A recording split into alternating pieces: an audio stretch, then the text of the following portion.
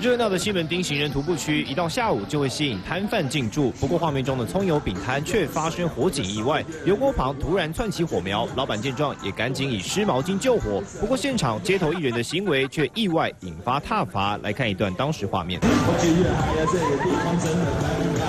用水呀，火也烧得越来越旺。他决定用奶茶，用奶茶，哈，怎么可能用灭火？